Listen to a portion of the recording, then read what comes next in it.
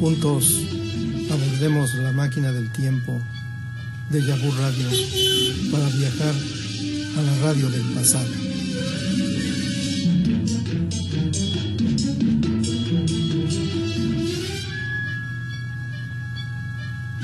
Bueno, pocas veces hemos tenido un invitado tan legendario, tan exitoso, que haya sido campeón mundial no sé cuántas veces en lo que sabía hacer, que lo hacía y que ha sido uno de los más grandes ídolos de este país. Lo sigue siendo, la gente lo quiere muchísimo. Está aquí con nosotros Rubén El Púas Olivares. Mi querido Rubén. ¿Cómo estás, mi querido Rubén? Rubén. Mi cartera, Rubén. ¿Hace cuántos neutres no nos veíamos? Ah, que Rubén, ¿eh? No, Mi teléfono, Rubén. cartera, la cartera ya. ¿Cómo has estado, Rubén? ¿Qué Bien, opinas? bien, gracias a Dios. Al paso de trabajando. los años, ¿qué opinas del cuyo? Ah, No, no. Ah, perdón. Hablando del Cuyo, eh, va a ingresar al Salón de la Fama ahora ya en Canastota, Nueva York. Yo ya me voy para el, el próximo martes, voy para allá. ¿A Canastota? Voy a Canastota del Qué buen nombre para el lugar, para el lugar, ¿no? El Canastota. Ahí está, Pero es ahí un está lugar precioso, muy bonito. Ahí estás tú ya está metido, ya ¿no? Sí, desde el 91. ¿Fuiste campeón cuántas veces mundial, Pudas? Cuatro. Cuatro veces. ¿En qué pesos? En gallo y pluma. Gallo. Dos gallos y dos plumas. Porque no, había, no existían. Eras un saco de mañas, ¿no? Pues de todo se aprende. Oye, Rubén.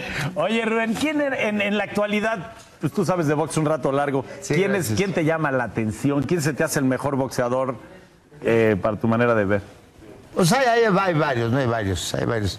Eh, vimos a Abner Mares, ¿Márquez te gusta? a Márquez, bueno, ese, ese campeón, definitivamente ese no hay. Qué madranzo le metió, al, le metió al, al- al- al-. Ese lo hubiera hecho desde el principio, ¿no? Pero no, no, no, no, mejor que bueno que fue. En la quinta pelea ya que se hicieron ricos los dos. Pero, pero fue, sí, fue, es, es un peleadorazo, ¿no? Márquez. Oye, ese Paquiao, ¿por qué, tenía, ¿por qué era tan, tan, tem- tan temido por todos los mexicanos? O sea, ¿no les sabían entrar a la pelea con él o qué? Exactamente. ¿Por qué no eh, sus entrenadores, los, los, de mexicanos, por qué no entrenan al, al, al peleador? Le enseñan cómo debe de ganarle a un zurdo. ¿Cómo se le A debe? un zurdo, ¿no? Sí. Un zurdo anda todo el tiempo tirándote su jab. Ahí está, puedes entrenarte ahí. ¿Dónde está la estaca? Cuando se necesita, ¿dónde está la estaca? Ahí deja abajo. Sí, ahí está. Nomás es cuestión de, tú como derecho, inclinas, pasas su, su dale, dale. Se te hace fácil porque tú eres un superdotado, pero yo en lo que le encuentro el hígado. A ver, oye, oye, Paquiao, ¿dónde tienes el hígado? Ya, no tiene- Rudo, ¿dónde está el hígado, Rudo? A ver, ¿a que no le das un gancho al hígado al rudo? El mío está en Oceánica. Para pegarle al, hígado del rudo hay que ir a Oceánica. Lo tienen embarcado. Yo estoy en el Salón de la Fama. Además, Oye, pues y ahora estás, ahora estás también ya en Hijos de Deportes, eh, ya llevas un rato en las transmisiones de box, eh, estás eh, los viernes en la noche. eh, Sí, no, muchas Fuego, gracias. No, no, gracias que me invitan a trabajar y aprender más cosas, ¿verdad? Pero además, cuando un campeón mundial habla, como ahorita lo que nos acaba de decir, bueno, nadie, digo, a nadie que no hayamos boxeado se nos ocurre que eso es una cosa que se debe de hacer. Cuando lo dice un campeón mundial como el Púas, pues caray, tiene una doble, este, un doble valor la narración.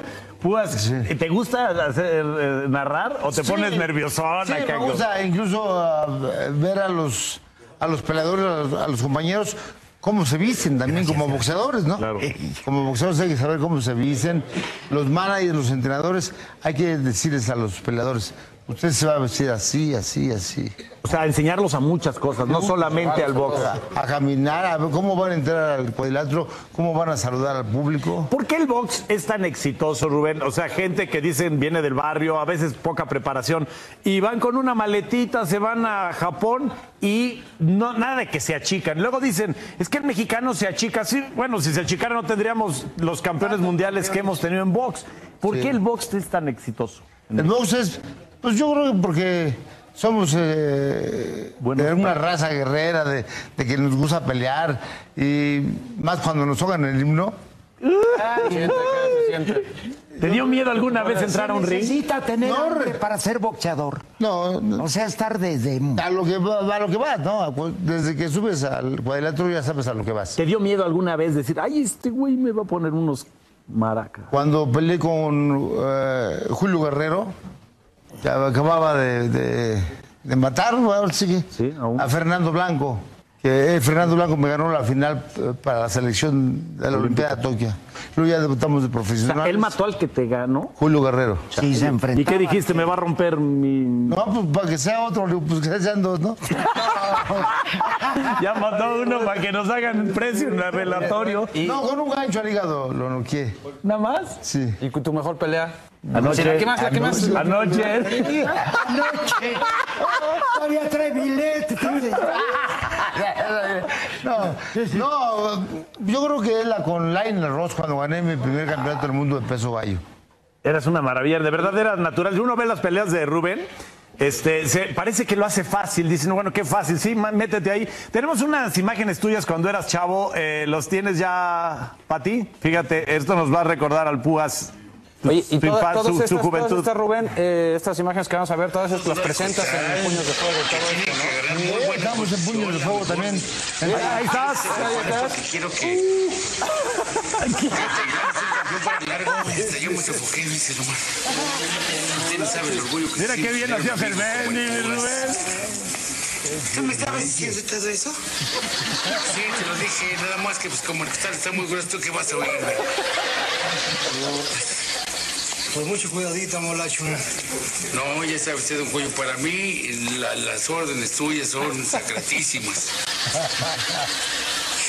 ¿Qué me imagino yo que sabe usted aquí a Margarina Nápoles a hacer rounds de sombra? Margarina. Sí, quiero que haga unos cuantos rounds de sombra aquí con- Margarita. con el reno aquí abajo. ¿Y, y- y- y tú qué te metes, tú, molacho? No, pues es que le tengo mucho cariño al Púas y pues quiero saber cómo, cómo van a llevar su entrenamiento porque usted es un hermano para mí. ¿Qué digo, hermano? Bueno, pues esa era una parodia que hacían fabulosa. ¿Te gustaba que te imitaran de repente y te hicieran estas? Sí, Era cómo no, divertido, Me ¿no? gusta, me gusta. Y además me hicieron una buena fama los polivoces porque el otro día estaba yo allá en Coyoacán, fui a Coyoacán, y fui a caminando, pasé por un bar y me dijo un señor, ven, pues ven, ven. Ay, ¿qué pasó? ¿Cómo está? Bien, buenas tardes. Dice, ya no tomes tanto, púa. no, sí, ya no tomo. Así me quedó mi cara. ¿Cuánto tiempo llevas que sin tomar y todo? Unos 20 años. sí. ¿Nada más? Ya, nada más. 20 años. Sí, oye, Luego ahí empezó a tomar el rudo, ¿no? Le dio la estafeta. Oye, pues pollo a la preguntar púas, ¿no? tus cualidades como chef. Pues, que nos, que nos platiques tu, tu, tu receta favorita. Pues, Bueno, agarra un, un pollo así ya encuerado, esta se llama pollo a la púas, ¿verdad? pollo a las púas. Lo metemos a un recipiente, a una olla grande, eh, le metemos una copa de coñac, una copa de whisky, un litro de pulque, una copa de champán, lo metemos al horno a 250 grados, 10 minutos, lo sacamos, esperemos que se enfríe, se escurre el pollo, se le avienta a los perros y se toma el caldo. ¡Ese es! La original receta del pollo a la púas.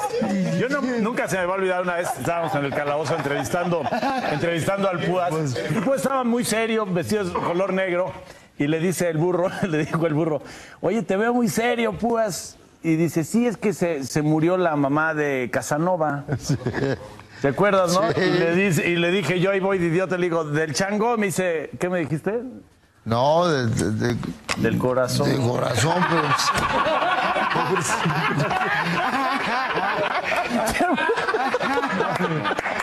Pobre mujer, ¿no? Pobre mujer. El Púas además es idolazo. En, la, en, la, en tu vida diaria, Púas, la gente te quiere mucho, lo, lo sientes en la calle. Ahorita que entraste, sigue siendo un ídolo. ¿Eso cómo se logra? Con esa cara, como... No, es que, pues, siempre hubo mucho respeto, hay mucho respeto para el público y cuando subía yo a pelear a lo que iba, ¿no? Y De verdad. ¿no? Ganaras o perdieras, ibas. Perder o ganar, no, nunca, nunca me quedé sentado en el banquillo. Alexis Argüello, que luego fue uno de los mejores de toda la historia, le metiste una zapatiza hasta que te cansaste. Me cansé y ya no era yo el mismo, ¿no? Pero Y luego el flaco pegaba muy duro, pegaba fuerte. Pero lo tiraste creo que dos veces. No, no lo tiré nunca. ¿No? Pues no lo, lo tambaleé, pues ya no pude tirarlo. Pero le estabas metiendo un... Con el aliento, hubiera. Con el aliento le hubieras hecho.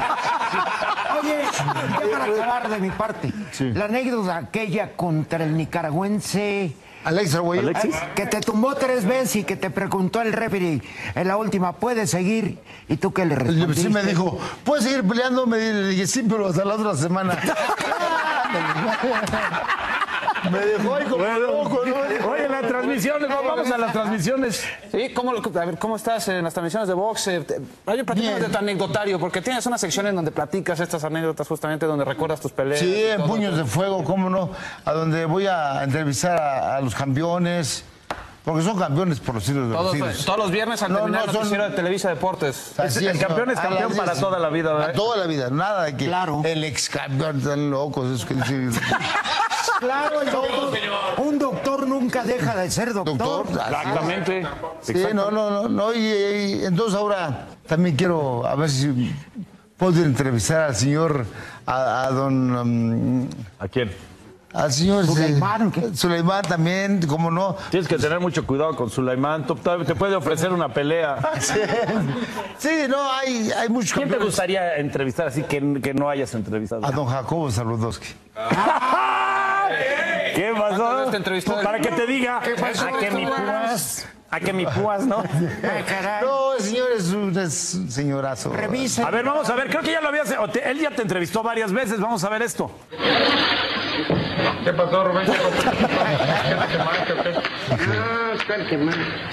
Es una lata, hombre. En las glorias del rey Salomón, allá en la pulcata, cada vez le ponen más serrín en el pelo. Caray, este Rubén Olivares nunca pierde su buen humor, ¿verdad? Aquí es, Jacobo. Lo único que pierdo son las peleas de box. A ver, a ver, explícanos cómo, cómo fue que perdiste tu última pelea, ¿eh?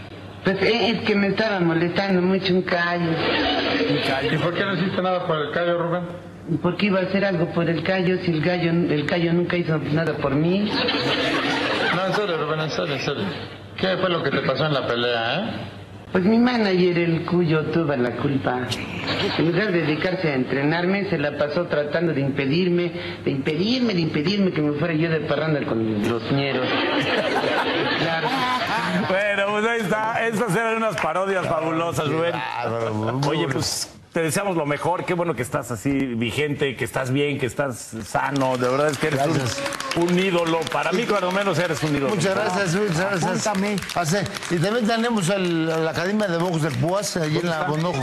En la bomboja. Ah, ¿Dónde más, verdad? Tenemos en la Bondojito ahí en el barrio. ¿Cuántos chavos traes ahorita? Ahorita como cuatro chamaguitos más o menos. Y le meten Un bien a sobrinito. todo el día. Ahí estoy metido todo el día. Arriba tengo mi taller de tallado de madera. Y, y me subo, me bajo, ando para arriba, ando para abajo. Siempre te gustó tallar, ¿verdad? Sí. Pulir también. Pulir. Y limar. Él para la limada, la pulida y la tallada era bueno, el Rubén. No, lo que pasa que primero me enseñaron a, a la artesanía, a, a tallar lo que es la madera eh, de imágenes de- religiosas. Y ahora pues hago las últimas cenas y a los apóstoles les traigo guantes de box.